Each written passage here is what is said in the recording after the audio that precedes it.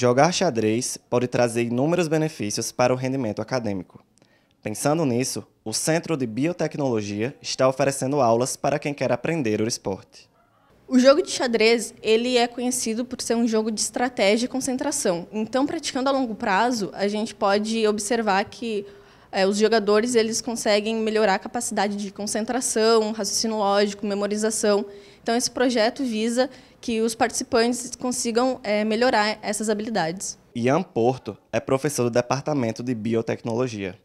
Ele coordena os alunos que ministram as aulas de xadrez e conta como surgiu a iniciativa do projeto. O projeto coordenado pelo professor Edson, ele começou a notar que os alunos, eles começaram, a, a gente via que tinham uma certa deficiência é, em termos de concentração, em termos de diálogo entre as disciplinas.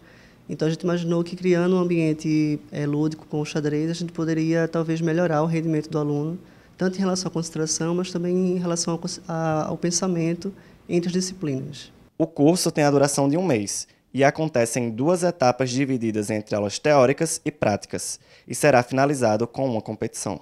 Poderá participar qualquer um que sabe jogar xadrez, mas desde que não seja um profissional já de xadrez, que já sabe jogar como expert.